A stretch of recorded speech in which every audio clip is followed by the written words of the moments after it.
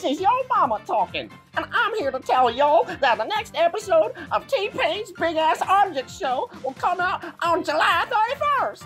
Here's a sneak peek of the episode featuring yours truly. Girl, you better put me down this instant. Alright.